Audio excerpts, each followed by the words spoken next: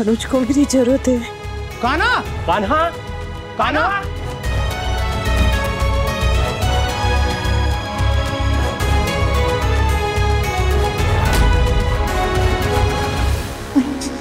अनुज अनुज अनुज उठिए अरे कोई तो मदद करो।